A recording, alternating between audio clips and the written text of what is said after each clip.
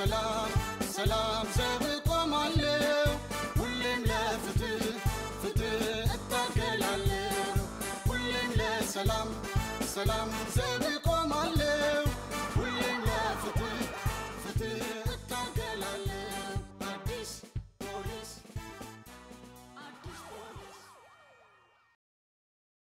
ሰላም ጤና ይስጥልን ውድ ተመልካቾቻችን እንደምሰነበታችሁ። ሳምንታዊ የአዲስ ፖሊስ ፕሮግራማችን እነሆ ወደ እናንተ ሊደርስ በዝግጅት ላይ እንገኛለን።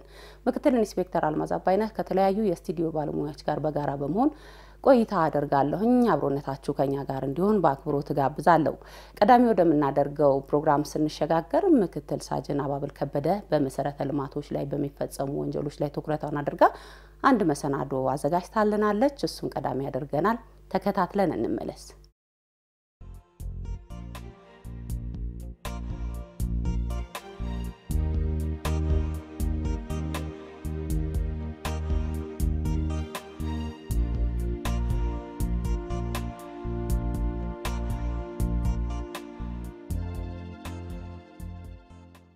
የከተማዎች የእድገት ደረጃ እንደየአካባቢውና ሕዝቦቿ የአኗኗር ሁኔታ ይለያያል። እንደየእድገት ደረጃቸው የመሰረተ ልማት አውታሮች ይሟሉላቸዋል። በከተማችን አዲስ አበባ ከጊዜ ወደ ጊዜ የተለያዩ የመሰረተ ልማት ግንባታዎች እየተገነቡና መሻሻሎች እየተስተዋሉ ይገኛሉ።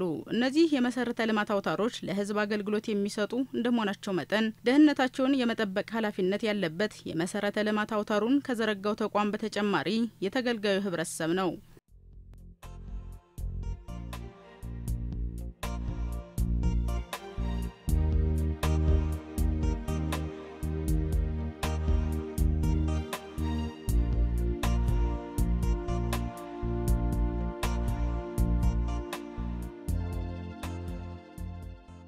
ወንጀል ፈጻሚዎች የግል ጥቅማቸውንና ፍላጎታቸውን ለማሟላት ሲሉ ለህዝብ ጥቅምና ፍላጎት ሳይጨነቁ እኔ ከሞቱ ሰርዶ ይብቀል እንዲሉ በተጠናና በተደራጀ መልኩ ጨለማን ተገን በማድረግ በተደጋጋሚ ጊዜ ወንጀሎችን ሲፈጽሙ ይስተዋላሉ። የአዲስ ፖሊስ የዝግጅት ክፍልም በወንጀለኞቹ ዙሪያ የተለያዩ መሰናዶዎችን እያቀረበ የጥንቃቄ መልእክቶችን እያስተላለፈ ይገኛል። በዛሬው መሰናዷችንም ለበርካታ ህዝብ አገልግሎት በሚሰጡ መሰረተ ልማቶች ላይ በሚፈጸሙ ወንጀሎች ዙሪያ አንድ መሰናዶ ይዘን ቀርበናል። ተከታተሉን ዘንድ በአክብሮት እንጋብዛለን።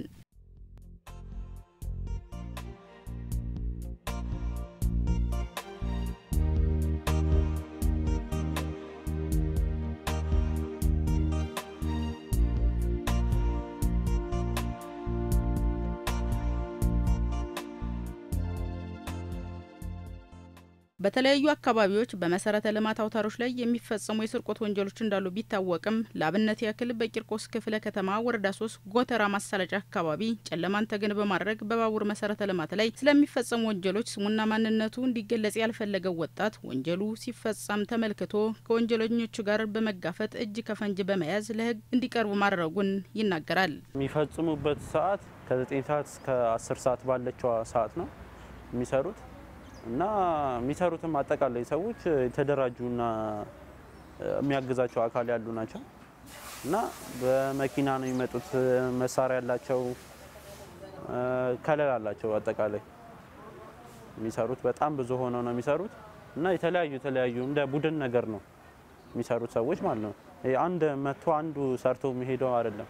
ወደ አራት አምስት ቡድኖች ነው ያሉት የተለያዩ የተለያዩ እና እንደዛ በእንደዛ መንገድ ነው እየተሰራ ያለው እና እኛም ያው እዛው አካባቢ ያሉም የነበሩ ልጆች የሚሰሩም ስለነበሩ ክስተት እኛም እዛው አካባቢ ጥበቃም ስለነበረ ምናምን ሲጀመር የሀገር ጉዳይ ነው።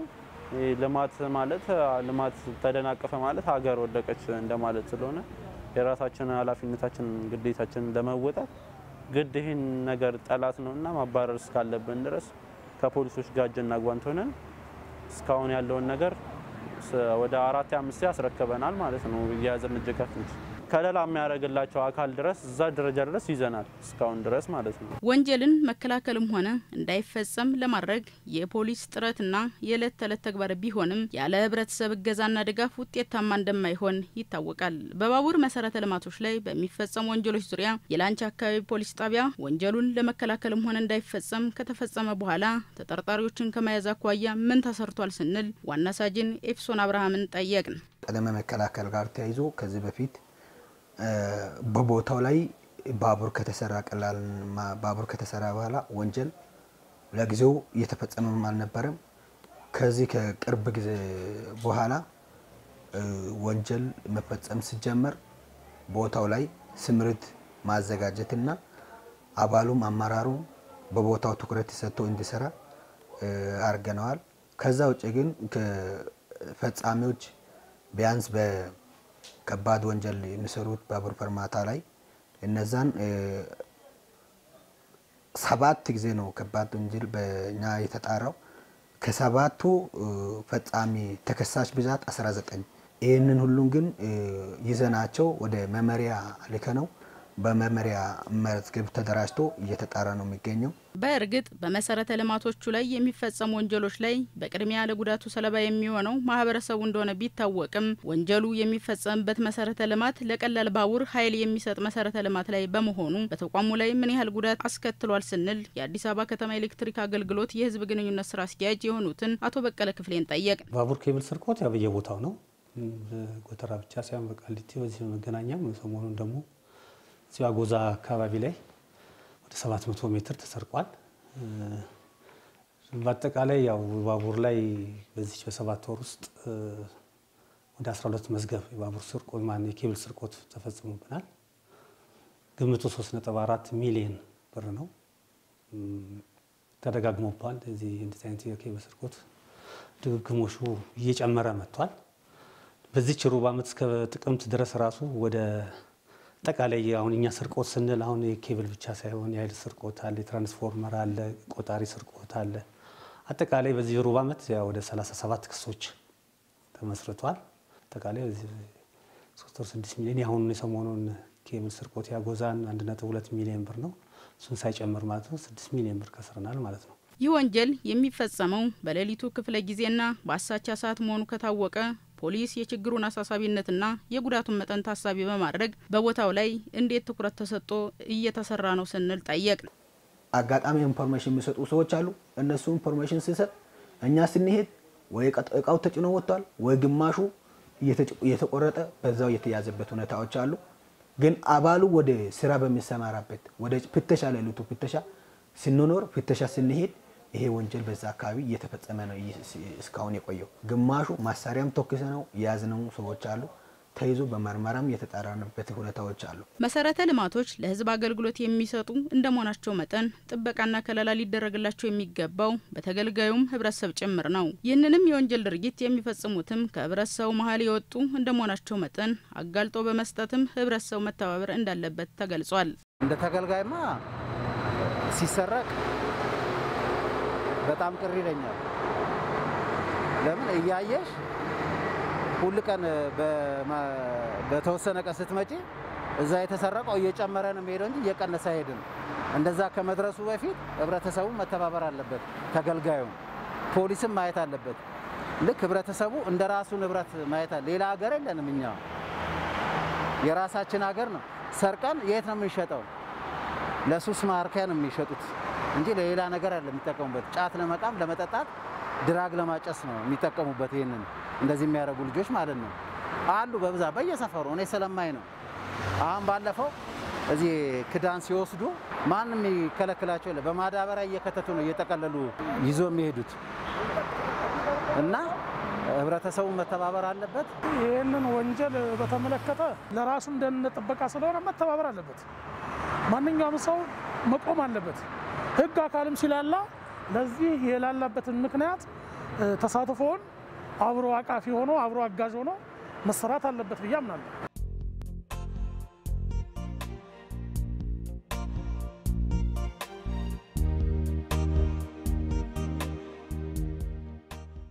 ከህብረተሰቡ በተጨማሪ የሚመለከታቸው ባለድርሻ አካላት በጋራ ችግሩን ለመቅረፍ ምን እየሰሩ እንደሆነ የአዲስ አበባ ከተማ ኤሌክትሪክ አገልግሎት ህዝብ ግንኙነት ስራ አስኪያጅ አቶ በቀለ ክፍሌንና የላንቻ አካባቢ ፖሊስ ጣቢያ ወንጀል መከላከል ተወካይ ዋና ሳጅን ኤፍሶን አብርሃምን ጠየቅን። ከተቋሙ ጋር ያለው ግንኙነት በቦታው ለወንጀል መንስኤ የሆነበት ምክንያት ከማሞ ጀምሮ እስከ ላንቻ ፐርማታ ባለው ጨለማ ነው። ወንጀል የሚፈጸምበት ጨለማ ቦታም ስለሆነ ቦታው ላይ ማብራት እንዲተክል ከነሱ ጋር የተነጋገርበት ሁኔታዎች አሉ። ተቋሙ በዋናነት ከአዲስ አበባ ፖሊስ ጋር በጣም በትብብር ይሰራል። የራሱን ፕሮግራም አለው። የእኛ ዲስትሪክቶች እነሱ አገልግሎት ከሚሰጡት ክፍለ ከተሞች ፖሊሶች ጋር ይሰራሉ። ለምሳሌ ምዕራብ አሁን ቂርቆስ ክፍለ ከተማን ኮልፌንና እንትን ይዞ ነው የሚሰራው። ደቡብ ደግሞ ንፋስ ስልክና ቃሊቲን ይዞ ነው የሚሰራው። እንደዚህ ያለ አራቱም ዲስትሪክቶቻችን አገልግሎት ከሚሰጡት ክፍለ ከተሞች ጋር ከፖሊሶች ጋር ጥሩ ስራ አለ። ትልቁም ስራ እያገዘንም ያለ አዲስ አበባ ፖሊስ ነው። ተቀናጅተን እንሰራለን። ሌላው ፎረም አለን። ትልቁ የእኛ አጋዥ ኃይል እሱ ነው የሆነው። በየወሩ ከፎረሞች ጋር አገልግሎት በሚሰጡበት ማዕከል ላይ ይሰበሰባሉ። እንደዚህ አይነት ስርቆት፣ እንደዚህ አይነት ችግር በቅርበት እኛ ተከታትለን ያው ንብረት እኛ መቆጣጠር አንችልም፣ መጠበቅ አንችልም። መሰረተ ልማት ህብረተሰብና ያው የሚጠብቀው የፖሊስ ኃይል ነው። ከእነሱ ጋር ግን ያው በቅንጅት በጥሩ እየሰራን ያለ ነው። የሀገርን እድገት የሚፈልግ ወጣት ወንጀል ጠልና ሀገር ወዳድ መሆን አለበት። ለዚህም የሚፈጸሙ ወንጀሎችን መከላከል ይኖርበታል ያለን ወጣት ይህንን ስራ ሲያከናውን ትንኮሳዎች ቢኖሩም ይህንን ተቋቁሞ ዛሬም ወንጀልን እየተከላከለ መሆኑን ነግሮናል። በጣም ብዙ ተጽዕኖ ደርሶብናል። ሰፈር ላይ ስም ይወጣልሻል፣ አስጠጭኝ ምናምን የሚል ስም ይወጣልሻል። ይህን የሚሰሩት ሰዎች ማለት ነው። ወጣቱ ሀገሩን ቢጠብቅ እላለሁ። ሀገር ሀገር ስትኖር ነው እሱም እናትም የሚኖሩት። ወንጀልን ማጥፋትም ወይም መቀነስ ለፖሊስ ወይም ለአንድ ተቋም ብቻ የሚተው ባለመሆኑ ፖሊስ የራሱን ተግባር እያከናወነ ቢሆንም ችግሩን ለመቅረፍ ሁሉም የበኩሉን ድርሻ መወጣት አለበት ተብሏል። ሁሉም አካል ነው ይህን መሰረተ ልማት የሚጠብቀው። በዋናነት ያው እዛው አካባቢ ያለ ነዋሪ ነው። የሚጎዳውም ሲሰረቅ እዛው ነው። ንብረቶች ሲጠፉም ሲሰረቁም ሆነ ጉዳት ሲደርስ ተጎጂው እዛ ያለው ቅርብ የህብረተሰቡ አካል ነው። እነሱ ያው ጥቆማ በማድረግ በመተባበር ያው ለሚመለከተው ለፖሊስ ኃይል እየጠቆሙ በፊትም እንደሚያደርጉት ይህንን ማድረግ ነው።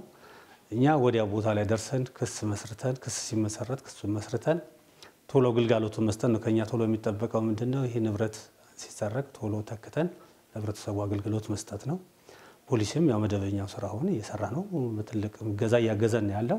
ሁላችንም ግን ትብብር ያስፈልገናል። የመሰረተ ልማት ስርቆት ሁሉንም ስለሚጎዳ ሁሉንም አካል ሁላችንም በየፊናችን የራሳችን ድርሻ ብንወጣ ከኛ ያለውን ግንኙነት ከህዝቡ ጋር ያለውን ለማስተካከል ህዝቡም ደግሞ ወንጀል ጠልቅ የሆነ ወንጀሉን እንዳይፈጸም ከህዝቡ ጋር ተቀራርበን መስራት አለብን። አባሉ ቀንም ሌሊትም እዛ አካባቢ ቋሚ ተመድቦ እስካሁን እየሰራ ይገኛል። የመሰረተ ልማት ስርቆት ጉዳቱ ህዝብን ብሎም ተቋምን አልፎም ሀገርን የሚጎዳና ከፍተኛ መዋለ ንዋይ የሚጠይቅ በመሆኑ ህብረተሰቡ በየአቅጣጫው አገልግሎት እንዲሰጡ የተዘረጉ መሰረተ ልማቶችን እንደ ራስ ንብረት ጥበቃና ከለላ ሊያደርግላቸው ይገባል።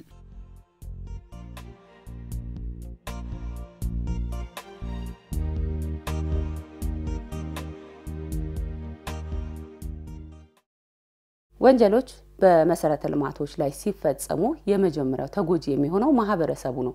ስለዚህ እነዚህን መሰረተ ልማቶች ማህበረሰቡ ሊጠብቃቸው፣ ሊንከባከባቸው እንዲሁም ወንጀል ሲፈጸምባቸው ጥቆማዎችን በማድረግ እጅ ከፍንጅ በመያዝ ከጸጥታው አካል ጋር የጋራ ስራ መስራት ይጠበቃል እንላለን። ከዚህ በመቀጠል የምንሸጋገረው ወደ ዜናዎቻችን ነው። ከአስራ አንዱም ክፍለ ከተማ የተውጣጡ ዜናዎችን ዋና ኢንስፔክተር ማርቆስ ታደሰ እየመራ ከእሱ ጋር ቆይታ እንድታደርጉ በአክብሮት እጋብዛለሁ። ከዜናው በኋላ እኔ ተመልሼ እመጣለሁ።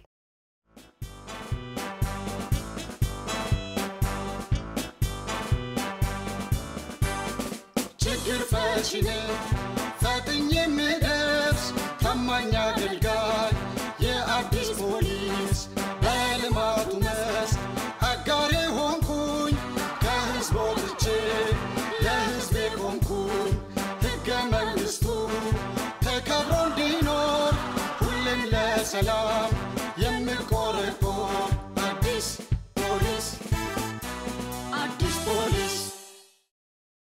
ሰላም ጤና ይስጥልኝ። ውድ የአዲስ ፖሊስ ፕሮግራማችን ተከታታዮች እንደምን ሰነበታችሁ። የአዲስ ፖሊስ ዝርዝር ዜናዎችን ከዚህ እንደሚከተለው አስደምጣችኋለሁ። ከዜናዎቹ ጋር ዋና ኢንስፔክተር ማርቆስ ታደሰ ነኝ። በመኖሪያ ቤት ውስጥ የነዋሪነት መታወቂያን ጨምሮ የተለያዩ ሀሰተኛ ሰነዶችን ሲያዘጋጅ የነበረ የወረዳ አስተዳደር ሰራተኛ በቁጥጥር ስር ውሎ ምርመራ እየተጣራበት እንደሚገኝ ተገለጸ። ዘገባው የምክትል ኢንስፔክተር ተዘራ ብሽር ነው፣ እንደሚከተለው ያቀርበዋል። የለሚ ኩራ ክፍለ ከተማ ፖሊስ መምሪያ የወንጀልና ትራፊክ አደጋ ምርመራ ዲቪዚዮን ኃላፊ ዋና ኢንስፔክተር ዘሪሁን ተፈራ እንደገለጹት አንድ ግለሰብ ሐሰተኛ የነዋሪነት መታወቂያ ይዞ ሲንቀሳቀስ ሕዝብ በሰጠው ጥቆማ በፖሊስ አባላት ተደርሶበት በተደረገ ምርመራ ሐሰተኛ መታወቂያውን ያዘጋጀውን ግለሰብ ማወቅና በቁጥጥር ስር ማዋል ተችሏል።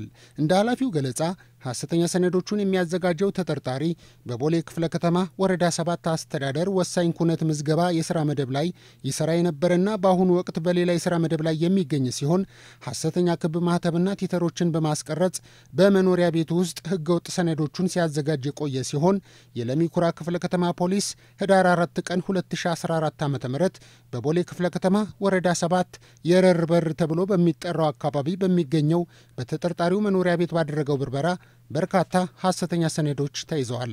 ከዚህ በፊት ቦሌ ክፍለ ከተማ ወረዳ ሰባት ወሳኝ ኩነት አካባቢ ይሰራ የነበረ ግለሰብ የወረዳ ሰባትን የነዋሪነት አገልግሎት ማህተም አስመስሎ አስቀርጾ መኖሪያ ቤቱ በማስቀመጥ ከግለሰቦች አምስት መቶና አራት መቶ ብር ገንዘብ እየተቀበለ ሀሰተኛ መታወቂያዎችን እየሰራ የሚሰጥበትን ሁኔታ ፖሊስ ባደረገው የብርበራ ሂደት ያገኘበት ሁኔታ ነው ያለው። ፖሊስ ብርበራውን ሲያደርግ በወቅቱ በርካታ ሀሰተኛ መታወቂያዎች ሊሰሩ የተዘጋጁ print ተደርገው የተዘጋጁ እንደዚሁም በተመሳሳይ በርካታ ለመታወቂያነት የሚያገለግሉ ጉርድ ፎቶግራፎችን ከቤቱ የያዘበት ሁኔታ አለ። የውልና ማስረጃ ሰነዶች የተያዙበት ሁኔታ አለ። የትምህርት ማስረጃዎች የተያዙበት ሁኔታ አለ። ቲተሮች የተያዙና የተገኙበት ሁኔታ ነው ያለው። ከዚህ ጋር ተያይዞ ፖሊስ ምርመራውን በስፋት እያጣራ ያለበት ሁኔታ ያለ መሆኑን ነው የምገልጸው ማለት ነው።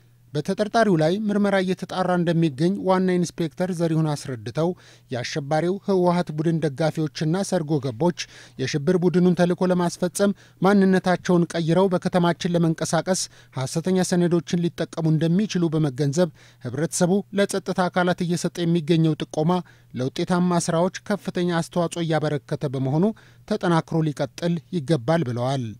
ካለ የሀገሪቱ ተጨባጭ ሁኔታ አንጻር ሰዎች ማንነታቸውን ለመቀየር እና ስማቸውን ቀይረው እንደዚህ አይነት ነገሮች ሊገለገሉ ይችላሉ። ግን ህብረተሰቡ የሚሰጠው ጥቆማ ማንም ሰው በእንደዚህ አይነት መንገድ ቢገኝ በህግ ከመጠየቅ የማይድንበት ሁኔታ ያለ መሆኑንም ማሳሰብ ፈልጋለሁ። ስለዚህ ከዚህ ጋር ተያይዞ ሰዎች በእንዲህ አይነት መንገድ የሚገለገሉ ካለ በማንኛውም ጊዜ ለፖሊስ ባለው ስልክ ቁጥር ጥቆማ ቢሰጥ ፖሊስ ምርመራውን የሚጀምርና የሚያጣራበት ሁኔታ ያለ መሆኑን አሳስባለሁ። የአቃቂ ቃሊቲ ክፍለ ከተማ ፖሊስ መምሪያ ከተለያዩ የተቋማትና የድርጅት ኃላፊዎች ጋር በወቅታዊ ሀገራዊ ጉዳይ ላይ ውይይት አካሂደዋል። ዘገባው የኮንስታብል አባይነህን የማየው ነው። ዝርዝር አለሁ። ውይይቱ የተካሄደው ጥቅምት 30 ቀን 2014 ዓ ም በአቃቂ ቃሊቲ ክፍለ ከተማ አስተዳደር አዳራሽ ውስጥ ነው። የአቃቂ ቃሊቲ ክፍለ ከተማ ፖሊስ መምሪያ የማህበረሰብ አቀፍ ፖሊስ አገልግሎትና ወንጀል መከላከል ምክትል ዳይሬክተር ኮማንደር አባት አጎው ክፍለ ከተማው የበርካታ ተቋማት መዳረሻ መሆኑን አስታውሰው ሀገራችን ላይ ያለው ወቅታዊ እውነትን ግምት ውስጥ በማስገባት ተቋማት ደህንነታቸው የተጠበቀ እንዲሆን ለማስቻል ከ500 በላይ ከሚሆኑ የተቋማትና የድርጅት ኃላፊዎች ጋር ውይይት መደረጉን ገልጸዋል። ተቋማት ያሉበትን ደረጃቸውን የተቋማቸው ደህንነት ከመጠበቅ ከመከላከል አንጻር የጥበቃ አባላትን እንዴት ማበረታታት መደገፍ እንዳለባቸው በአካባቢ ሁኔታ ላይ አጠራጣሪ ነገሮች፣ አላስፈላጊ ተግባሮችና ለአደጋ ተጋላጭ የሆኑ ንብረትም ሆነ ሌሎችን እንዲያስተካክሉ እንዲያውቁ ከፖሊስ ጎን ሆኖ በጋራ የሚከሰተውን አደጋዎችን መከላከል አቅም እንዲያዳብሩ ግንዛቤ ለመፍጠር የተዘጋጀ መድረክ ነው። ውይይቱ ወቅቱን የጠበቀና ተገቢ ነበር ያሉት የውይይቱ ተሳታፊዎችም ከጸጥታ ኃይሉ ጎን በመቆም የተቋማቸውን ደህንነት ከመጠበቅም አልፎ ትላንት አባቶቻችን ጠብቀው ያቆዩንን ሀገር ያለምንም ማመንታት እንጠብቃታለን ሲሉ ተናግረዋል። አሁን ያለው ወቅታዊ የጸጥታና የደህንነት ሁኔታ ምን ይመስላል የሚል ቅኝት ያለው ወቅታዊ ሁኔታን የቃኘ ከመሆኑ ጋር ተያይዞ እሱን እንደ መነሻ ተጠቅመን ሰፊ ውይይት ነው ያደረግ ነው። መቃወም የሚቻለው ፓርቲ መመስረት የሚቻለው መነጋገር የሚቻለው በሀገር ላይ ነው። ሀገር እየፈረሰ ነው ያለው። እነኚህ ሁለት ተላላኪዎች ብቻቸውን አይደሉም እያጠቁ ነው ያሉት። የአባቶቻችንን ስራ ዛሬ መስራት መቻል አለብን። ሳንሽ ኮረመም ዛሬም ከመከላከያ ሰራዊት ጎን ቆመን ደማችን ለማፍሰስ ዝግጁ ነን። ሰፈሮቻችንን በማስጠበቅ ከኋላ ከፊት ያሉትን ሁኔታዎች ሁሉ በማጥራት ከጸጥታው ኃይል ጋር አብሮ በመስራት ለመከላከያውም ለሀገርም ለመንግስትም ድጋፍ የሚሆኑ ነገሮችን በመስራት ላይ እንገኛለን። የሰላም አየር የሚነፍስባት ሀገር ከተማና አካባቢ ለመፍጠር ሁሉም በመደማመጥ መተባበር፣ ሰላምን ለማስፈን መትጋት ይኖርበታል ያሉት ኮማንደር አባት አጎም ህብረተሰቡ እያደረገ ያለውን እገዛ አጠናክሮ ሊቀጥል ይገባል በማለት አሳስበዋል። በህብረተሰቡ በኩል አሁንም እነዚህን ተግባሮች ያለው ጥቆማ ያለው መጠራጠሩ ሂደት እጅግ ተጠናክሮ መቀጠል እንደተጠበቀ ሆኖ ያልዋልታውን ጋጋታውን ትቴን በትክክል አካባቢያችን ካለው ከፖሊስ አካላት ከአስተዳደር አካላት ከሌላው ከመረጃ ከሚመለከታቸው ሰዎች ጠይቆ መረዳትና በመገንዘብ ይህ ሀሰት ፕሮፓጋንዳውን ቦታ ማሳጣት ከኛ የሚጠበቅ እንደሆነ በዚህ አጋጣሚ መግለጽ እወዳለሁ። የላምበረት አካባቢ ፖሊስ ጣቢያ ነዋሪዎች አደረጃጀቶችን በመፍጠር በሌሊቱ ክፍለ ጊዜ አካባቢያቸውን እየጠበቁ መሆናቸው ተገለጸ። ምክትል ሳጅን ፈለጉሽ አሻግሬ ዝርዝሩ እንደሚከተለው ታቀርበዋለች። በየካ ክፍለ ከተማ ላምበረት አካባቢ ፖሊስ ጣቢያ በስሩ ሁለት ወረዳዎችና 21 ቀጠኖች የሚገኙ ሲሆን በወረዳ አምስት ቀጠና አምስትና ሰባት ላይ ባደረግነው እንቅስቃሴ ነዋሪዎች አካባቢያቸውን እየጠበቁ እንደሚገኝ ተመልክተናል። ህብረተሰቡ ለጸጥታ ኃይሉ ደጀን በመሆን ኮሚቴዎችን በማዋቀርና አደረጃጀቶችን በመፍጠር ወቅቱን ባገናዘበ መልኩ አካባቢውን እየጠበቀ እንደሚገኝ የየካ ክፍለ ከተማ ፖሊስ መምሪያ የማህበረሰብ አቀፍ ፖሊስ አገልግሎት ኃላፊ ኮማንደር ታየሽ ዘገየና በስራ ላይ ያገኘናቸው ነዋሪዎች ገልጸዋል። መንደሩን ቀጠናውን የኋላ ደጀን ሆኖ ደግሞ ህዝባችን ይህንን ስራ እንዲረከበን አድርገን የኮሚኒቲ ኦፊሰሩና የበጎ ፍቃድ ወጣቶች ሌሎችም አደረጃጀቶችን ጨምረን የፓትሮል ቅኝቶቻችንን አብረን አድርገን በየመንደሩ ያለውን ህዝባችንን አሁን ያለውን የጸጥታ ሁኔታ በግልጽ በመድረክ አወያይተን ህዝቡን በፍላጎቱና በራሱ ተነሳሽነት አካባቢውን እየጠበቀ ነው ያለው። በዚህ መንገድ ነው orientation ተሰጥቶት በየቀኑ አካባቢውን በየ block ወጥቶ እየጠበቀ ነው ያለው። ስለዚህ በደንብ የተደራጀ ስራ እየተሰራ ነው። ማታውን 12 ሰዓት እንወጣለን እስከ ጠዋት 12 ሰዓት ድረስ ሽፍት አለን፣ እንከፋፈላለን። እስከ ጠዋት 12 ሰዓት ድረስ እንጠብቃለን። እየጠበቅን ያለ ነው። በሶስት የተዋቀሩ ኮሚቴዎች አሉን። አንደኛው የጸጥታ ኮሚቴ ነው። ሌላው ገለልተኛ ኮሚቴ የምንላቸው አሉ። ሶስተኛው ደግሞ የበጎ ፍቃድ ሰልጣኞች አሉን። እነሱን ሶስቱን አንድ ላይ በማድረግ ነው እየጠበቀን እየሰራን ያለ ነው። ድሮ ፍቃደኛ ያልነበሩ አንዳንድ ከፖለቲካ ጋር የሚያገናኙት ነገርኛ ወጥተን ስንጠብቅ፣ አሁን ግን በቁርጠኝነት ወጥተው የሚጠብቁት ወጣቶች ናቸው። ነዋሪዎች የጸጥታ ስራውን በመስራታቸው የተለያዩ ተጠርጣሪዎችና ግዝቢቶችን እንዲያዙ በማድረግና እንዲሁም ጥቆማዎችና መረጃዎችን እየሰጡ እንደሚገኙ ተገልጿል። ሴቶች ሁሉ ሳይቀሩ ወጥተው አካባቢያቸው ላይ መስራት የሚገባቸውን የሆነ ነገር ሲጠራጠሩ እየደወሉ ለኦፊሰሮቻችን፣ ለጣቢያ፣ ለክፍለ ከተማ እያሳወቁ በርካታ ስራዎች እየሰሩ የሚገኙት በአራዳ ክፍለ ከተማ ፖሊስ መምሪያ የፒያሳ አካባቢ ፖሊስ ጣቢያ አካባቢያቸውን በበጎ ፈቃደኝነት ለመጠበቅ ለተሰማሩ ነዋሪዎች የህጋዊ መታወቂያ ባጅ ሰጠ። ዝርዝሩን ኮንስታብል ፍጹም በቀለ ዘግቦታል፣ እንደሚከተለው ያቀርበዋል። ወቅታዊ ሁኔታውን መነሻ በማድረግና የከተማዋን ጸጥታ በዘላቂነት ለማስጠበቅ ፖሊስ ከከተማዋ ነዋሪዎች ጋር በመቀናጀት አካባቢያቸውን በንቃት በመጠበቅ እየተሳተፉ ቢሆንም እኩይ ተልዕኮ በማንገብ ከህብረተሰቡ ጋር በመመሳሰል ችግር የሚፈጥሩ አካላት ሊኖሩ እንደሚችሉ በማሰብ አንጸባራቂ ልብስ ብቻ በቂ ሆኖ ባለመገኘቱና ተመሳሳይነት ያላቸው አንጸባራቂ ልብሶች ስለሚለበሱ በጸጥታ ስራ ላይ የተሰማሩትን አካላት ለመለየት ያስችል ዘንድ ማንነታቸውንና በምን ስራ ላይ የተሰማሩ መሆናቸውን የሚለይ የመታወቂያ ባጅ መሰጠቱን የፒያሳ አካባቢ ፖሊስ ጣቢያ ወንጀል መከላከል ማስተባበሪያ ኃላፊ የሆኑት ምክትል ኢንስፔክተር ፈይሳ ዘውዴ ገልጸዋል። ይሄ መታወቂያ ስንሰጥ አንደኛ መታወቂያ ያስፈልግበት ዋና ምክንያቱ ሁሉም አካባቢ እንዲጠብቅ ሁሉም የፖሊስ አጋዥ ኃይል እንዲሆን አድርገናቸዋል ነዋሪዎቻችን።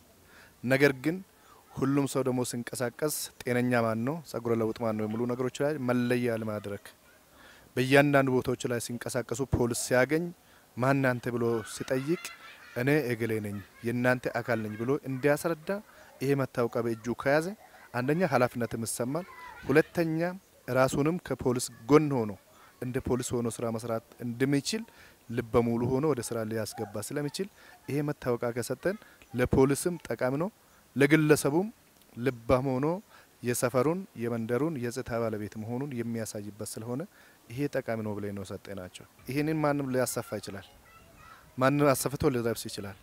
ይህ ስንል መታወቂያ ማሰሩ ማለት አይደለም። ነገር ግን የራሳችን ኮድ አለን። እኛ እኛ የምናድላት መታወቂያ የራሳችን ኮድ አላት። ለማን ለማን እንደሰጠን ጭምር እናውቃታለን። እሱም መነሻ አድርገን በእያንዳንዱ ቦታዎች ላይ የጸጥታ ባለቤት እንዲሆኑ orientation ሰጥተናቸዋል። orientation መስጠት ብቻ ሳይሆን ወደ ስራ አስገብተናቸዋል። የመታወቂያ ባጅ ሲቀበሉ ያገኘናቸው በጎ ፈቃደኛ ወጣቶች እንደገለጹት መታወቂያ ባጅ እንዲሰጣቸው በጠየቁት መሰረት እንደተሰጣቸው ገልጸው መታወቂያ ባጁ መያዛቸው ስራቸውን በሚያከናውኑበት ወቅት በራስ መተማመን እንዲሰሩ እንደሚረዳቸው ገልጸዋል። ባዶ በምትሰራ ሰዓት አብዛኛውን ጊዜ አንተ አሁን ሌባ ያስክ የተለያዩ ሰዎችን እንትን ስትል ጥያቄ ያለ አንተ ማኔ የሚል ነገር የታለ መታወቂያክ የሚሉት ነገር confidence የለህም። ስራ ስንሰራ confidence አልነበረንም። ወንጀል ቢከሰት ይሄን መታወቂያ በመያዛችን መታወቂያችን አሳይተን የመንግስት አካል መሆናችን ተገልጾ ያንን ሰው ህግን ማስከበር እንችላለን። ይሄ ለእኛ በጣም ወሳኝ ነገር ነው። ያለ ባጅ ነበር የምንሰራው፣ የሰጋን ነበር የምንሰራው። እኛ ይሰራልን ብለን ብዙ ጊዜ ጠይቀን ነበር። ዘንድሮ ተፈጻሚ ሆናለች። ሀገራችንን ከአሸባሪዎችና ከሀገር አፍራሾች ቡድን ለመታደግ ሁሉም ዜጋ ለሀገሩ በአንድነት መቆም አለበት ሲሉ ያነጋገርናቸው የአዲስ አበባ ነዋሪዎች ተናገሩ። ዘገባው የኮነስታብል አለም ልጅ አለም ነው። ዝርዝሩ እንደሚከተለው ያቀርበዋል። አሸባሪው የህወሓት ቡድን እኔ ያልገዛዋት ሀገር ትበታተን የሚል መሪ ቃል በማንገብ ጦርነት ከጀመረ አንድ ዓመት ሞልቷል። አሸባሪውና ወራሪው የህወሓት ቡድን በንጹሐን ዜጎች ላይ አረመኔያዊ ድርጊት በመፈጸም አካላዊና ስነልቦናዊ ጉዳት እያደረሰ ይገኛል። ታዲያ ይህ አሸባሪና ወራሪ ኃይል ለአንዴና ለመጨረሻ ጊዜ ለማስወገድ በአንድነት በተባበረ ክንድ መታገል እንደሚገባ ያነጋገርናቸው የአዲስ አበባ ከተማ ነዋሪዎች ተናግረዋል። እያንዳንዱ ቦታ ሰው ለሀገሩ ዘብ መቆም አለበት። ማንኛውም እስራኤል ሀገር ብትሄድ ሁሉም ለሀገሩ ዘብ ነው። እስራኤል ሀገር ብንሄድ ሁሉም ለሀገሩ ዘብ ነው። ራሻ ብትሄድ ሁሉም ለሀገሩ ዘብ ነው። ሁሉ ለሀገሩ ዘብ ነው። ልክ እኛም ወደ ተግባራዊ ማድረግ አለብን። እኛም ደግሞ ኢትዮጵያ ሀገራችን መውደድ አለብን። ከዚህ ቀደም በተዘራ ጎጥ ይሄ አማራ ነው፣ ይሄ ኦሮሞ ነው ምናምን ያን ታሪክ እያወራን ሀገራችን የምናንቆሽበት ምክንያት የለም። መስዋዕትነት የተከፈለበት ሀገር ነው። ምንድን ነው አሁን የሚጠይቅብን? መተባበር ይጠይቅብን፣ አብሮ መቆም ይጠበቅብናል። አሁን ክፉን ጊዜ እንድናልፍ የሚጠበቅብን ጊዜ ነው። ይህን ክፉ የምናልፈው በመተባበር በመያያዝና ከመንግስትም ከተለያየ አቅጣጫ አገርን ለማሳደግ ከሚደክሙ ጋር ስንተባበር ነው። እኛ አገባንም ብለን ቤታችን መቀመጥ፣ እኛ አይመለከትንም ብለን ከሁኔታዎች ራቅ ብለን ብንቆም ትርፉ ጓዳችን መምጣት ነው። እኛም ሰላም አይሆንልን። በልደታ ክፍለ ከተማ ፖሊስ መምሪያ የወንጀል መከላከልና የማህበረሰብ አቀፍ ፖሊስ አገልግሎት ምክትል ዳይሬክተር ኮማንደር መቤት ገቢሳ እንደተናገሩት ሀገር እንደ ሀገር ለማስቀጠልና የንጹሐን ሞትና መፈናቀል በማስቆም ዜጎች በሰላም ወጥተው በሰላም እንዲገቡ ሀገራችንም የጀመረችውን ልማት አጠናክራ እንድትቀጥል ሀገርን ለማፍረስ እኩይ ዓላማ አቅደው የሚንቀሳቀሱ ቡድኖችን ለመደምሰስ ሁሉም ኢትዮጵያዊ ዜጋ አስተዋጽኦ ማበርከት እንዳለበትና ማህበረሰቡ ከጸጥታ ኃይሉ ጋር ያለው ቅንጅትና መረጃ የመስጠት ተግባር የሚበረታታ መሆኑን ኮማንደር መቤት ገልጸው ሀገራችን ከጥፋት ኃይሎች የማዳን የሁሉም ዜጋ ኃላፊነት ነው ብለዋል። አሁን አገርን አገር አድርጎ ማስቀጠል የእያንዳንዱ ኢትዮጵያዊ ዜጋ ኃላፊነትም ነው ግዴታም ነው። ከጸጥታ ኃይሉ ብቻ አይደለም የሚጠበቀው። ሁሉም ኢትዮጵያዊ የሆነ ሕዝብ በሙሉ በአንድነት ሆኖ ሰላሙንና ደህንነቱን በማስቀጠል የጀመረውን ልማት ብልጽግናውን ወደፊት ማራመድ የሚችልበትንና ተስፋ የምትሰጥ አገር ያደገች አገር ለሌላው ለሌላው ምሳሌ የምትሆን አገር እንድትሆን የህዝቡ ሁሉ ኃላፊነት ነው ያለበት። ለአንድ ወገን የሚተው አይደለም።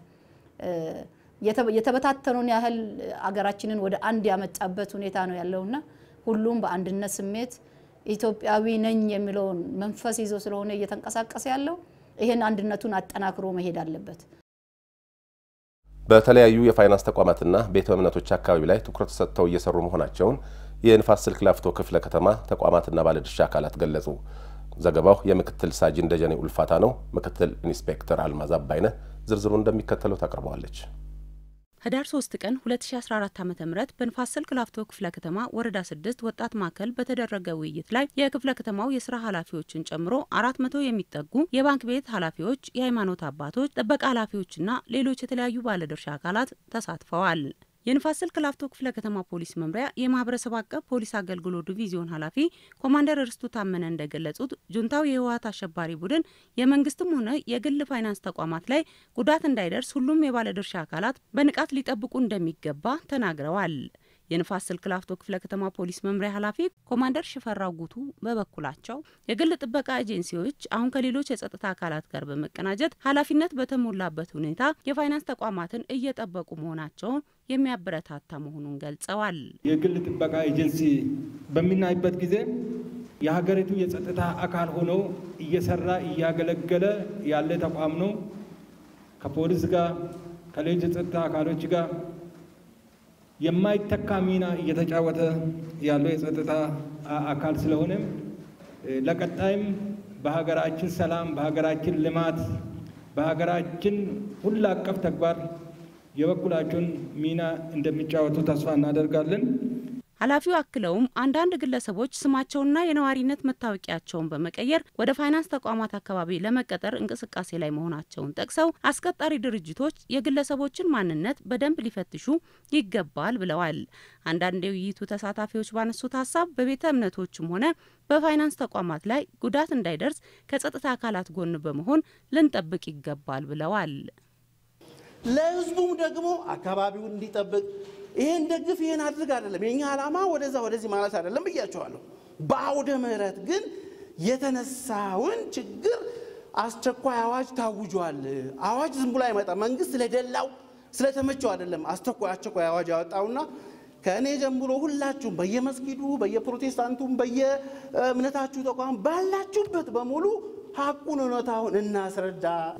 በየአካባቢያችን በቀጠናም ሆነ በተለያየ ነገር ወጣቶቹን መርጦ አሰባስቦ ታማኝ ታማኝ የሆኑ ወጣቶችን ተያዥ ያላቸውን የአካባቢ ልጆች የሆኑትን እንደዚሁ ለሰላምና ለጸጥታ information እንትንባዮች ቢያሰማራ እና ቢያሰለጥን ጥሩ ነው። ለአሸባሪዎች እኩይ ዓላማ ማስፈጸሚያ ሊውሉ የነበሩ በርካታ ሲም ካርዶች፣ ሀሰተኛ የመሳሪያ ፈቃድና የሽጉጥ ጥይቶች በህብረተሰቡ ጥቆማና ፖሊስ ባከናወነው የዘመቻ ስራ ከሁለት ተጠርጣሪዎች ጋር በቁጥጥር ስር መዋላቸውን የአዲስ አበባ ፖሊስ ገለጸ። ዘገባው የዋና ሳጅን ዘላለም አበበ ነው። ዝርዝሩ እንደሚከተለው ያቀርበዋል። አሸባሪዎቹ የህወሓትና የሸኔ ቡድኖች ሀገርን ለማፈራረስ እኩይ ዓላማ አንግበውና መዲናችን አዲስ አበባን የጦርነት አውድማ ለማድረግ ተላላኪ ባንዳዎችን አሰማርተው እየተንቀሳቀሱ ቢገኙም ህዝቡና የጸጥታ አካላቱ ተቀናጅተው በሰሩት ጠንካራ ስራ ሴራቸው እየከሸፈ ይገኛል። ተጠርጣሪዎቹ በቁጥጥር ስር የዋሉት በአዲስ ከተማ ክፍለ ከተማ ወረዳ ስምንት ክልል ልዩ ቦታው ሸራተራና የካቲት 23 ሁለተኛ ደረጃ ትምህርት ቤት ተብሎ ከሚጠሩ አካባቢ ሲሆን ለሽብር ቡድኖቹ እኩይ ዓላማ ማስፈጸሚያ የሚውሉ 276 ሲም ካርዶችና ሀሰተኛ የጦር መሳሪያ ፍቃዶች እንዲሁም የሽጉጥ ጥይቶች በህብረተሰቡ ጥቆማና ፖሊስ ባከናወነው የኦፕሬሽን ስራ በግለሰብ መኖሪያ ቤትና ይዘው ሲንቀሳቀሱ በቁጥጥር ስር ውለው ምርመራ እየተጣራባቸው እንደሚገኝ በአዲስ ከተማ ክፍለ ከተማ ፖሊስ መምሪያ የልዩ ልዩ ወንጀል ምርመራ team ኃላፊ ዋና ሳጅን አሰፋ ጎንፋ አብራርተዋል። የአሸባሪ ቡድኖቹን መደምሰስ የሚቻለው በተባበረ የህዝብ ተሳትፎ መሆኑንም ዋና ሳጅን አሰፋ ጎንፋ ተናግረዋል።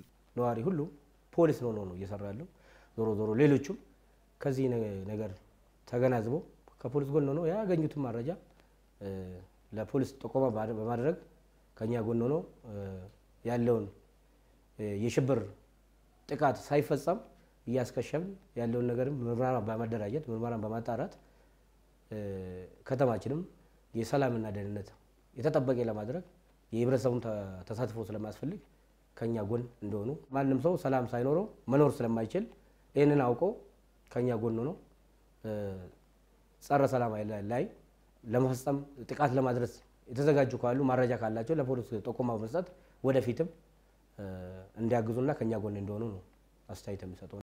በለሚኩራ ክፍለ ከተማ ሀሰተኛ ሰነዶችን እያዘጋጀ ሲያሰራጭ የነበረ ተጠርጣሪ ከስድስት አባሪዎቹ ጋር በቁጥጥር ስር ውሎ ምርመራ እየተጣራበት እንደሚገኝ ተገለጸ። ዘገባው የምክትል ሳጅን አዳነ ደስታ ነው። ዝርዝር አለው። የለሚኩራ ክፍለ ከተማ ፖሊስ መምሪያ የወንጀል መርማሪ ዋና ሳጅን አሰፋ ጌትነት እንደተናገሩት ተጠርጣሪው ግለሰብ በክፍለ ከተማው ወረዳ ሁለት አያት አካባቢ የተለያዩ ተቋማት ማህተሞችና ቲተሮችን በመጠቀም ሀሰተኛ የነዋሪነት መታወቂያና ልዩ ልዩ ሰነዶችን እያዘጋጀ እንደሚያሰራጭ ፖሊስ ባደረገው ምርመራ ዋና ተጠርጣሪውና ወረቀቶችን በማዘጋጀት በድለላ ድጋፍ ሲያደርጉለት የነበሩ ስድስት አባሪዎችን ጨምሮ በቁጥጥር ስር በመዋል ጉዳያቸው በምርመራ እየታየ እንደሚገኝ ተናግረዋል። በአጠቃላይ በእንደዚሁ በህገወጥ በምሪትም በምንም ብለን ሰባት ተጠርጣሪ እንደተያዘና ምርመራ እየተጣራ ያለበት ሁኔታ ነው ያለው። ወጣት ሀብታሙ ስም የአካባቢ ነዋሪ ሲሆን የአካባቢን ጸጥታ ለመጠበቅ ከፖሊስ ጋር ተቀናጅቶ እንደሚሰራ በመግለጽ ሀሰተኛ ሰነድ በሚያዘጋጁና ይዘው በሚንቀሳቀሱ ሆነ ሲገለገሉ በተገኙ ግለሰቦች ላይ የማያዳግም እርምጃ ሊወሰድባቸው ይገባል ብለዋል። መታወቂያ ራሱ ያሌላቸውን አንስተን ነው እግ ቦታ የምንወስዳቸው። ሰላም እያሰጡን ነው፣ እየረበሹን ነው። ይሄን ራሱ እንደዚህ የሚያደርገውት ራሱ በጣም እርምጃ ትልቅ እርምጃ መውሰድ ነበረባቸው። መርማሪው አክለውም የአስቸኳይ ጊዜና አዋጅ ተከትሎ ህብረተሰቡ በአካባቢው የሚታዩ ለየት ያለ እንቅስቃሴን ሲመለከት በአቅራቢያው ላሉ የፖሊስ ተቋማት መረጃ ሊሰጥ እንደሚገባና በህገወጥ መልኩ መታወቂያ ለማግኘት የሚያስቡ አካላትም ከድርጊታቸው ሊቆጠቡ ይገባል ብለዋል። እነዚህን ሰነዶች የሚያዘጋጁ ሰዎች ስላሉ ራሳቸው መታወቂያ እንደዚህ መታወቂያ ID የሚያሰሩ ሰዎች እንደ ትብብርም ለህግ ትብብር በመስጠት እነዚህን ጥቆማ እየሰጡ እንዲያስይዙንና ምርመራችንን እንድንቀጥል የህግ የበላይነትን እንድናሳይ ነው ምለው። በመረረ ትግላችን ጣፋጭ ድል እናጣጥማለን በሚል በከተማው ከሚገኙ የሰላም ዘብ ወጣቶች ጋር ውይይት ተካሂዷል። ዘገባው የምክትል ሳጅን አባብል ከበደ ነው።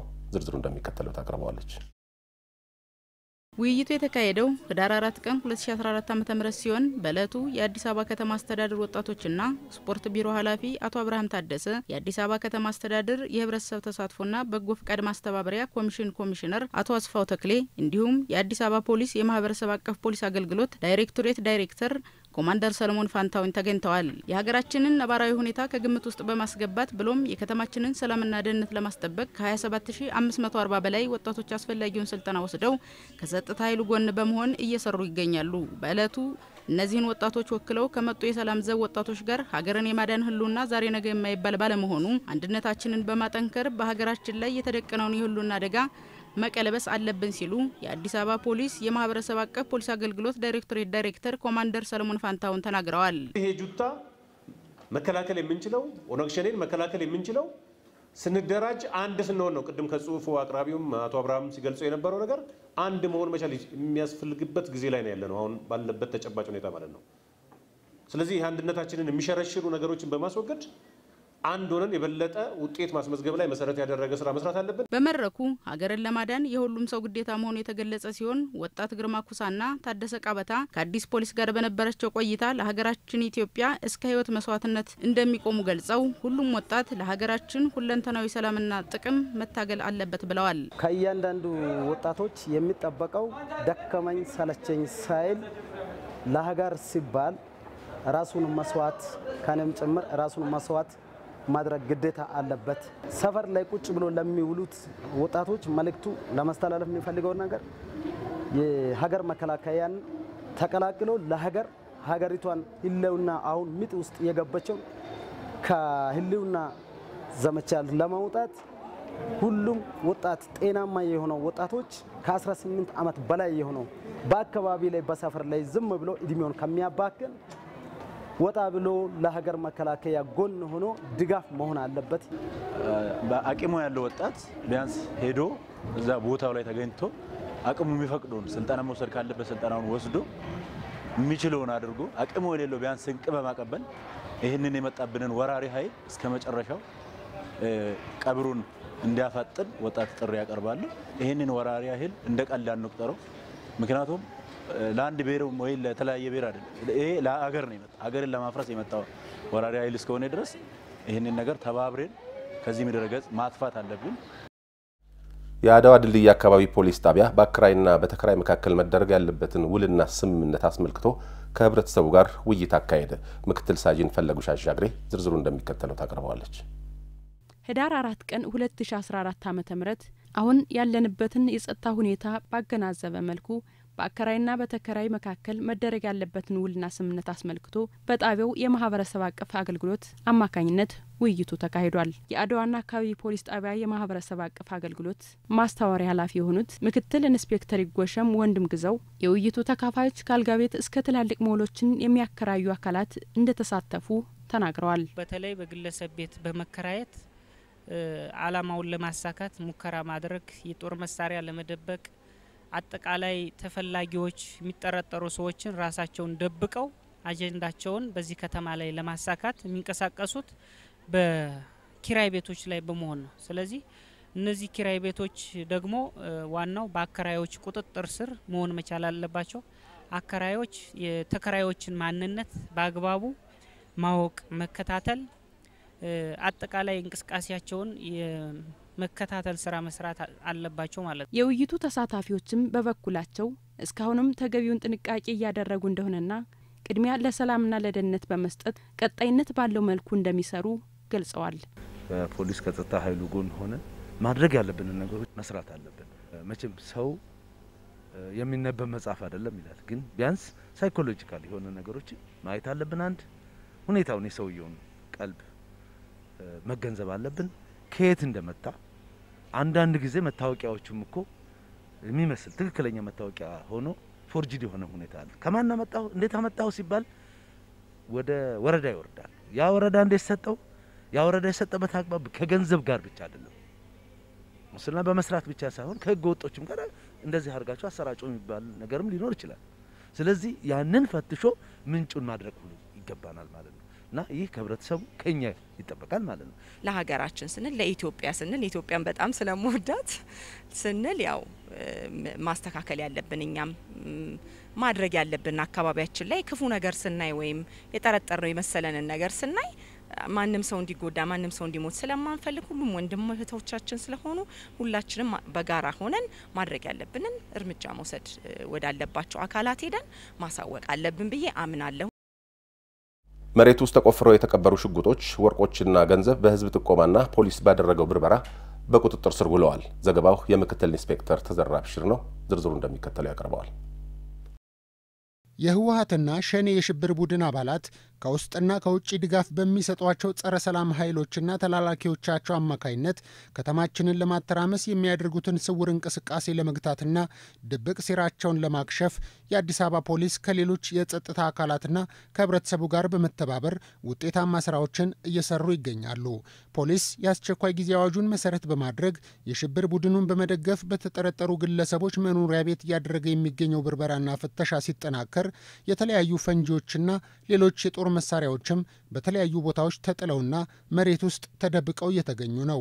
የመሪ አካባቢ ፖሊስ ጣቢያ ህዳር 3 ቀን 2014 ዓ ም ከህዝብ በደረሰው ጥቆማ በወረዳ 13 ምስራቅ ሎቄ ተብሎ በሚጠራው አካባቢ በአንዲት ግለሰብ መኖሪያ ቤት ባደረገው ብርበራ መሬት ውስጥ ተቆፍረው በፌስታል ተጠቅልለው የተቀበሩ የጦር መሳሪያዎችን፣ ገንዘብና ጌጣጌጦችን በቁጥጥር ስር ማዋል እንደተቻለ የጣቢያው ወንጀል መርማሪ ምክትል ሳጅን ወገኔ ዶሪ ገልጸዋል።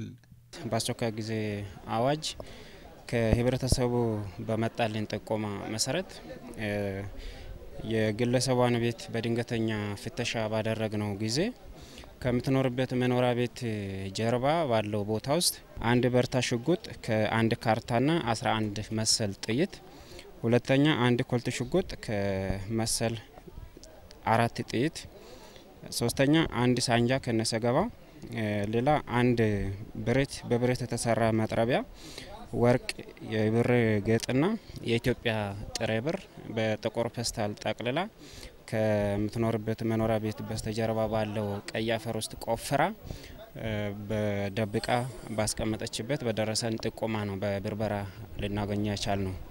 የከተማችንን ጸጥታ ለማስጠበቅ ህብረተሰቡ በሙሉ ተነሳሽነት መረጃና ጥቆማ በመስጠት ለጸጥታ አካላት እያሳየ ለሚገኘው አጋርነት ምስጋና ይገባዋል ያሉት መርማሪው አሁንም ህብረተሰቡ የሚሰጠውን መረጃና ጥቆማ ወደ ውጤት ለመቀየር ፖሊስ ዝግጁ መሆኑን ተናግረዋል።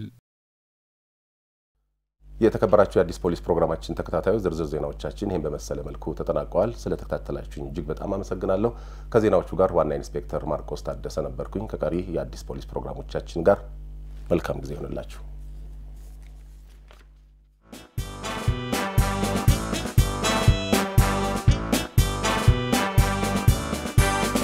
ችግር ፈቺ ነኝ ፈጥኜ የምደርስ ታማኝ አገልጋይ የአዲስ ፖሊስ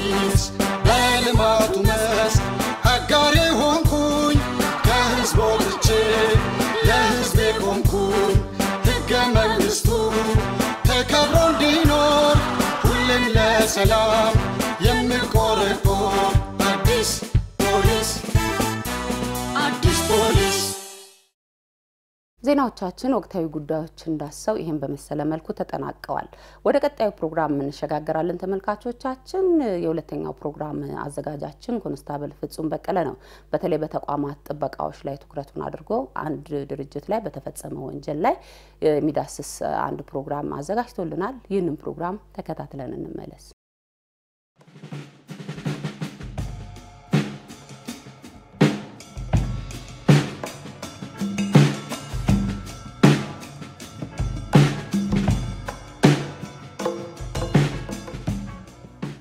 እምነት ትልቅ ኃላፊነት ነው። ይህንን እምነት ደግሞ በኃላፊነት ካልተወጡ ትልቅ ዕዳ ይሆናል። በሕግ ተጠያቂነቱም የዛን ያህል ነው። ታዲያ ይህንን ያልተገነዘቡ አንዳንድ ራስ ወዳዶች የራሳቸውን ጥቅም በማስቀደም እምነታቸውን ሲያጎሉ ይስተዋላሉ። በዚህ ጊዜ ደግሞ ሕግ ስላለ ከወንጀል ተጠያቂነት አያመልጡም።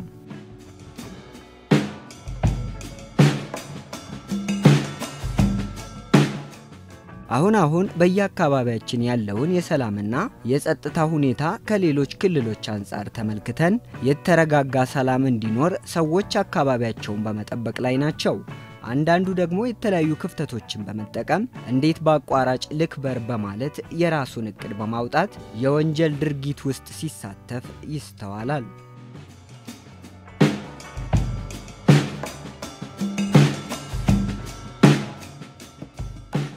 ትልልቅ ተቋማት ውስጥ የሚሰሩ ሰራተኞች የዕለት ስራዎቻቸውን ሰርተው ወደ የቤታቸው ሲሄዱ በተቋም ውስጥ ያለውን ንብረት ጥለው የሚሄዱት ለጥበቃ ሰራተኞቻቸው ነው።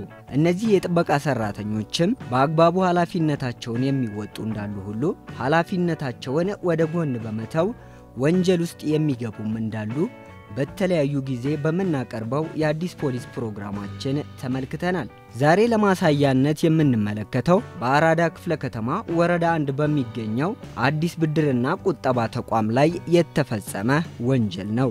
ተቋሙ የጥበቃ ሰራተኞችን ከአንድ የጥበቃ ኤጀንሲ ውል ተዋውሎ ኤጀንሲውም ኃላፊነት ወስዶ ያስቀጥራል።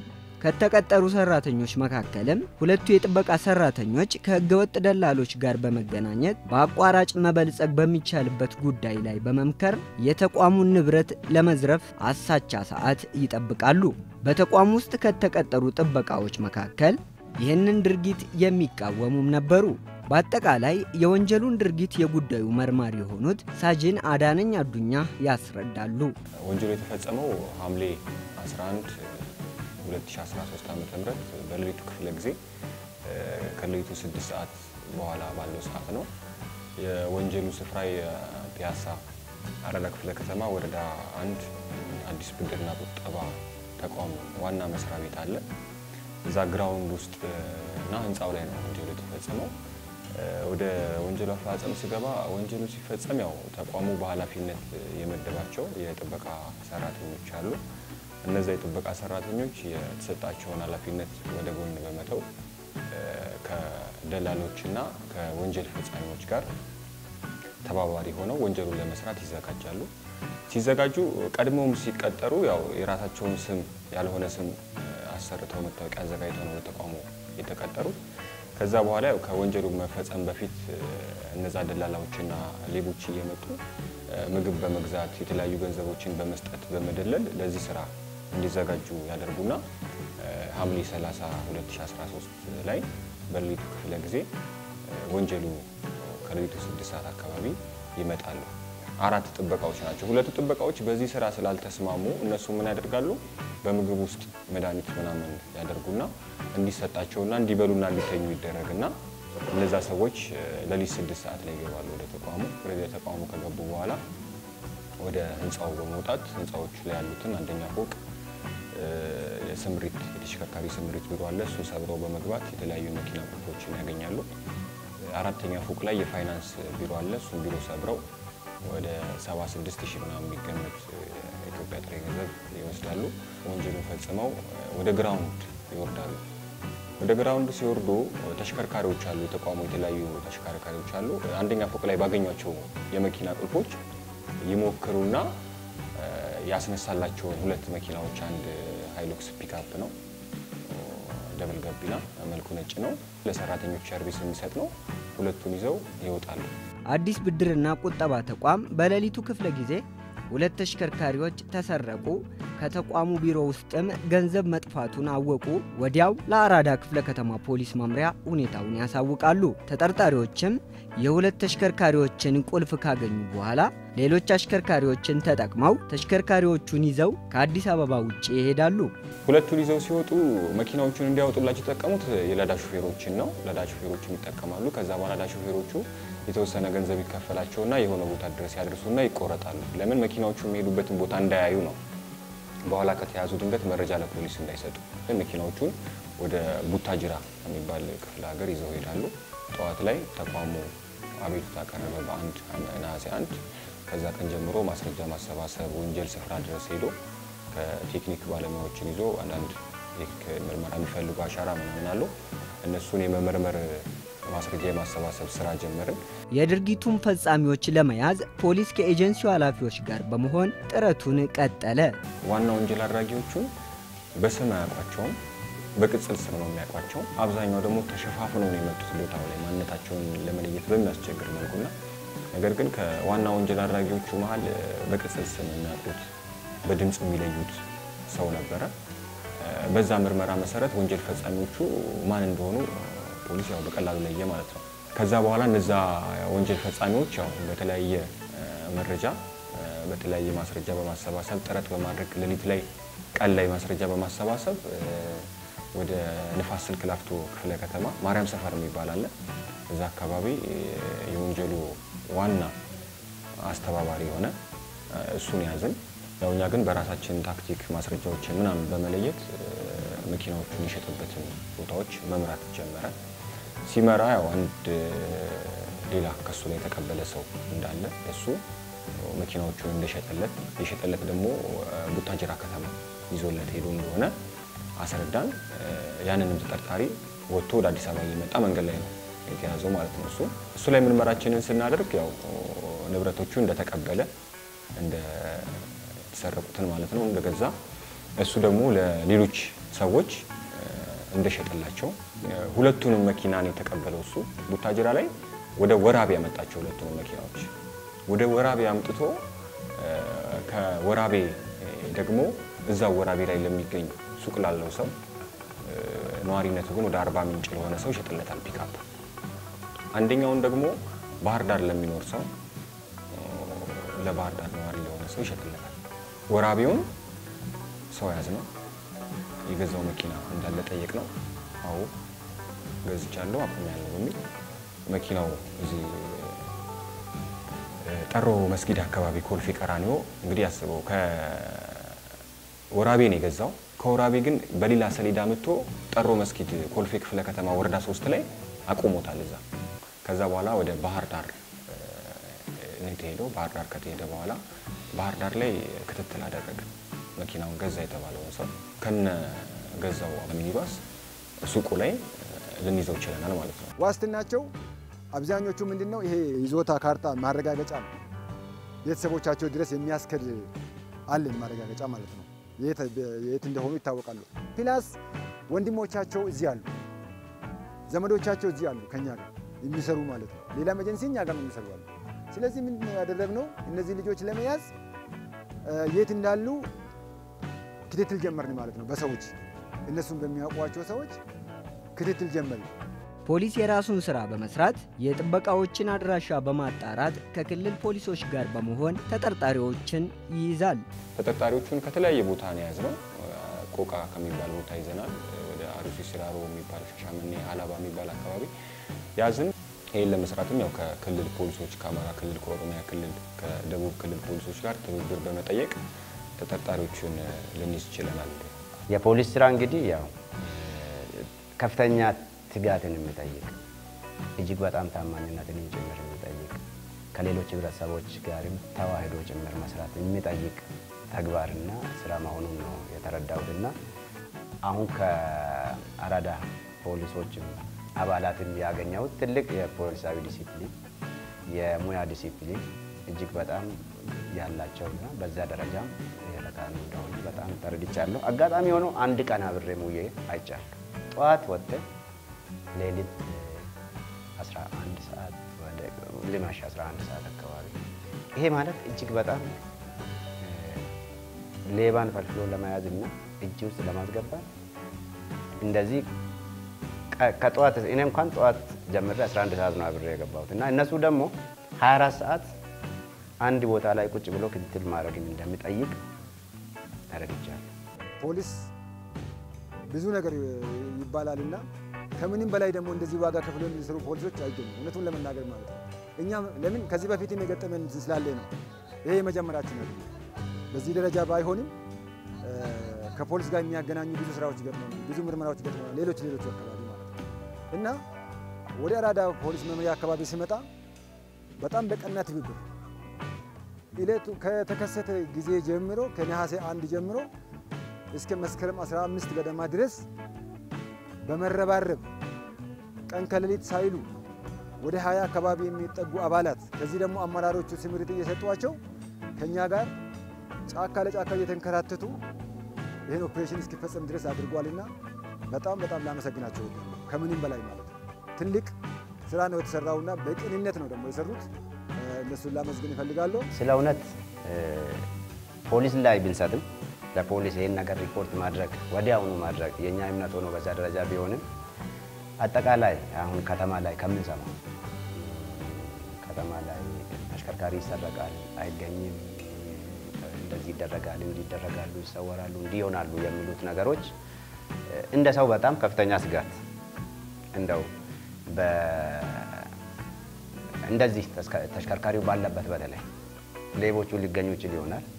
ተሽከርካሪውን ግን በዚህ ደረጃ ምንም ሳይነካ ቀን ከሌት ክትትል ተደርጎ ምንም ሳይነካ ተሽከርካሪው በነፍስ እንደዚህ ይመጣል የሚል እውነት ለመናገር በዚህ ደረጃ አልነበረም። የሆነው ግን ያው የተገላቢጦች ነው። ሁለቱም በጣም በተሳካ ሁኔታ እጃችን ላይ ነው የገቡት እና ይህን ስናገኝ እኛ የበለጠ ፖሊስ ላይ እምነት እንድንጥል እኛ ብቻ አይደለንም፣ አጠቃላይ የተቋሙ ማህበረሰብ በቴሌግራም የተቋሙ official ቴሌግራም page አለ፣ ፌስቡክ page አለ። እሱ ላይ ጭምር ያየነው feedback ፖሊስ ላይ ምን ያህል አጠቃላይ አመራሩ ብቻ ሳይሆን አጠቃላይ የተቋሙ ሰራተኛና ሌሎች አካላት እምነት እንዳላቸው ያሳየን ጉዳይ ነው።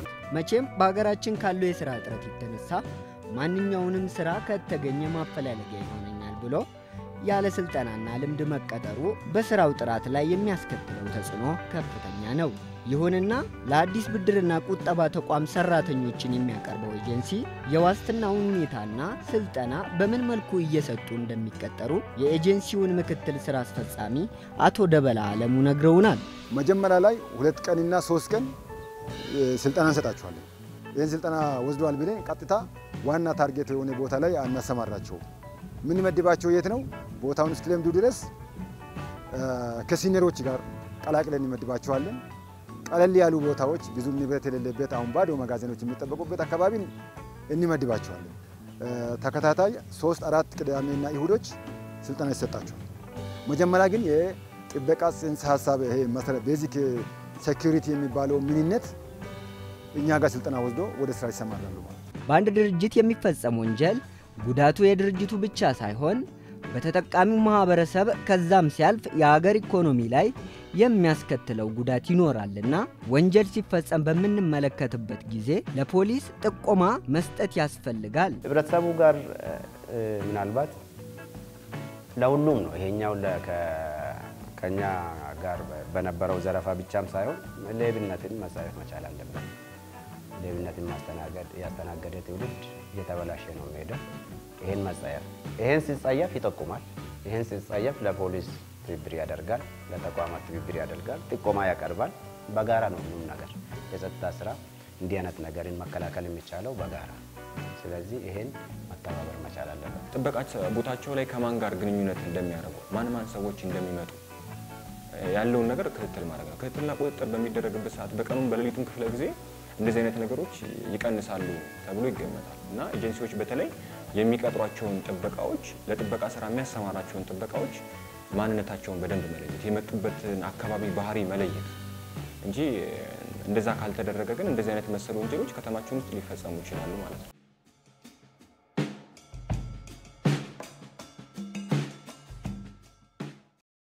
በተለያዩ የተቋማት ጥበቃ ላይ የሚሰማሩ የጥበቃ ሰራተኞች እምነታቸውን በአግባቡ ኃላፊነታቸውንም በአግባቡ የሚወጡ እንዳሉ ሁሉ እንደዚህ አይነት ወንጀል ላይም የሚሳተፉ የጥበቃ ሰራተኞች እንዳሉ ያመላከትንበት ፕሮግራም ነበረ። ስለዚህ ተቋማት፣ ኤጀንሲዎች የሚቀጥሯቸውን ሰዎች ላይ ትኩረት እንዲያደርጉም መልእክት አስተላልፈናል።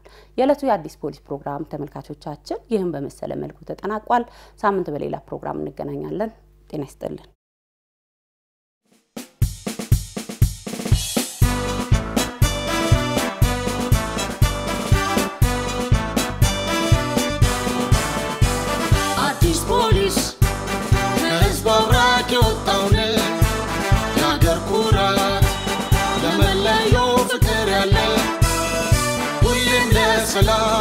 ሰላም ዘብ እቆማለሁ።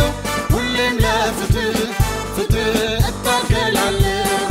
ሁሌም ለሰላም ሰላም